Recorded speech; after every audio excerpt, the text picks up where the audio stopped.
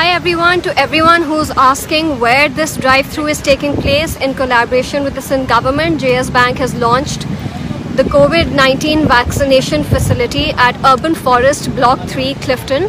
The timings are 4 p.m. till 12 a.m., seven days a week. You can visit and get yourselves vaccinated. We would urge everyone who is not vaccinated to come and get themselves vaccinated and help us in vaccinating Karachi together.